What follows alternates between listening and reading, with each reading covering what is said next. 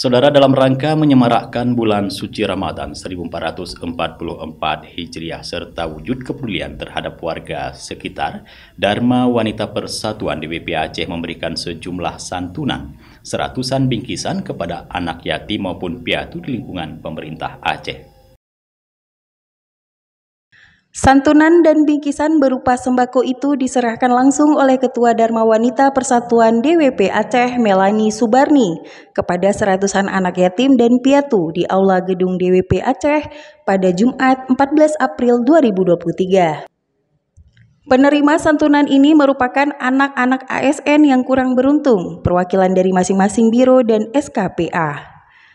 Melani yang merupakan istri dari Sekretaris Daerah Sekda Aceh dalam sambutannya menyampaikan, kegiatan santunan bagi anak yatim dan piatu serta kunjungan panti jompo merupakan salah satu perwujudan kepedulian DWP kepada sesama, khususnya di bulan suci Ramadan ini. Ia menerangkan, Bulan Ramadan merupakan momentum bagi umat Islam untuk memupuk keimanan serta mengajarkan untuk saling peduli kepada sesama yang membutuhkan. Ia berharap santunan ini memberikan manfaat bagi mereka dalam memenuhi kebutuhan jelang Lebaran. Melani menyampaikan terima kasih untuk seluruh anggota DWP yang sudah ikut memberi donasi dalam kegiatan ini.